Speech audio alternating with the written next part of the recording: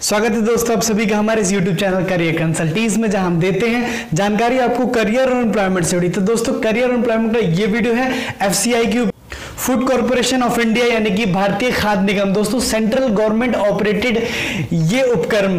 दोस्तों 4103 पदों की भर्ती निकाली है और आज ही के दिन, यानी कि 12 तारीख को ऑफिशियल नोटिफिकेशन भी आया है इसका। दोस्तों, पूरी डिटेल समझेंगे इस वीडियो में और डिकोड करेंगे क्या है वैकेंसीज तो दोस्तों FCI के इस रिक्रूटमेंट को डेफिनेटली अब तक आपने पढ़ ही लिया होगा, लेकिन दोस्तों, हमारा काम है इसको डिकोड करना, यानी कि हम इसे डिटेल में समझेंगे और कुछ स्पेशल पॉइंट पर फोकस करेंगे। तो दोस्तों, पहला पॉइंट तो ये है कि एक स्टूडेंट सिर्फ़ एक ही पोस्ट के लिए एप्लीकेशन कर सकता है। यानी कि दोस्तों, जैसा कि ये टोटल चार रीजनों में बटा हुआ है north west east and south तो दोस्तों, एक ही जगह से आप इसे भर सकते हैं, आपका और एक ही पोस्ट के लिए भर सकते हैं। तो ये एक चीज़ इंपॉर्टेंट है। दूसरा दोस्तों, यहाँ पर 4103 पद दिखाई ज़रूर दे रहे हैं, लेकिन दोस्तों, ये कॉम्बिनेशन है mix technical non technical assistant grade और बहुत सारे दूसरी जॉब्स का कॉम्बिनेशन यानी कि सिर्फ़ एक ही डिपार्टमेंट की नहीं, और भी 10 डिपार्टमेंट इसमें शामिल है, जिसमें कि मिनिमम 26 से लेकर के 300 तक पद दिए हुए हैं एक पर्टिकुलर डिपार्टमेंट के लिए। दोस्तों फॉर्म कंप्लीटली ऑनलाइन ही फिल किए जाएँगे और इसकी डेट होगी स्टार्ट तेईस फरवरी से दोस्तों वैकेंसीज की डिटेल में बता दूँ कि नॉर्थ जोन में आपके पास एक वैकेंसीज हैं साउथ जोन में आपके पास 540 वैकेंसीज हैं, उसके अलावा ईस्ट जोन में आपके पास 538 वैकेंसी है एंड वेस्ट जोन में 735 वैकेंसी है।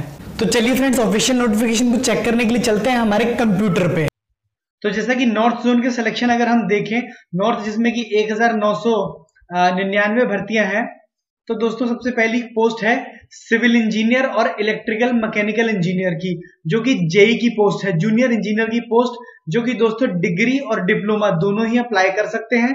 लेकिन डिप्लोमा होल्डर को यहाँ पर मिनिमम वन ईयर का एक्सपीरियंस चाहिए। हालाँकि इस एक्सपीरियंस की डिटेल अभी डिकोड नहीं की गई है। तो अगर एज क्राइटेरिया की बात करूँ तो यहाँ पर 28 साल एज बताई गई है। बट अगर पोस्ट की बात करूँ तो दोस्तों ये सफिशियंट नहीं है। नॉर्थ जोन में 46 सिविल इंजीनियर की रिक्वायरमेंट है and electrical and mechanical mix 30 requirement यानी कि टोटल 76 इंजीनियर्स की रिक्वायरमेंट है। तो जिस तरीके से इसे एक बहुत बड़े सिलेक्शन और रिक्वायरमेंट की तरह देखा जा रहा था कि 4103 पदों की भर्ती है तो वैसा कुछ मुझे नहीं लगता कि यहाँ पर आपको इंजीनियर्स को देखने को मिल सकता है या मतलब इंजीनियर को फील होगा। अगला देखते हैं दोस्तों स्टेनोग्राफर स्टेनो स्टेनोग्रेड में दो फ्रेंड्स देखें तो स्टेनोग्रेड सेकंड इसकी एज क्राइटेरिया काफ़ी कम रखा गया है। केवल 25 साल एज मैक्सिमम दी गई है और वैकेंसी भी देखें तो केवल 43 वैकेंसीज अवेलेबल है। तो दोस्तों नॉर्थ जोन में 43 वैकेंसीज तो कोई ज़्यादा नहीं है। बहुत बड़ा नॉर्थ जोन है अपना। अगला देखते हैं दोस्तों असिस्टेंट ग्रेड दोस्तों असिस्टेंट ग्रेड इसमें स्पेसिफिक है कि वो हिंदी से आपको मास्टर डिग्री होनी चाहिए। इसकी एज क्राइटेरिया 28 है और नंबर ऑफ़ वैकेंसी बहुत ही कम, केवल 22 है। तो अगर आप हिंदी से पोस्ट ग्रेजुएट हैं तो आप इस वैकेंसी को भर सकते हैं। अदरवाइज़ आप अगली वैकेंसीज को देख सकते हैं। अगला है दोस्तों टाइपिस्ट दोस्तों प्रॉब्लम ये है कि टाइपिस्ट जो कि हिंदी का यहाँ कहा गया है इसके लिए भी जो क्वालिफिकेशन है वो ग्रेजुएशन मिनिमम मांगी गई है जो कि एक मतलब आ, काफ़ी हाई मांग ली गई है कह सकते हैं कि टाइपिस्ट के लिए।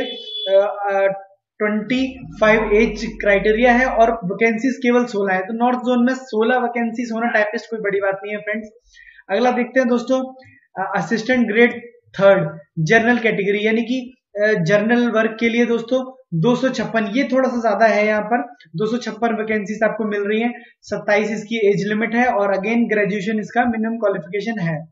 दोस्तों, अगली वैकेंसी देखते हैं। असिस्टेंट ग्रेड थर्ड अकाउंट्स के लिए फ्रेंड्स इसके लिए बीकॉम ग्रेजुएट होना रिक्वायर्ड है मैंडेटरी है और 27 साल की एज है दोस्तों और दो सौ सतासी।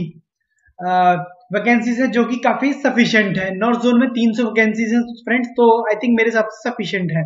आप देखते हैं दोस्तों assistant grade third assistant grade third देखें फ्रेंड्स तो जो कि टेक्निकल के लिए वो 286 तो टेक्निकल दोस्तों काफ़ी लोग होते हैं और ये असिस्टेंट ग्रेड टेक्निकल काफ़ी कम मुझे दिख रही है।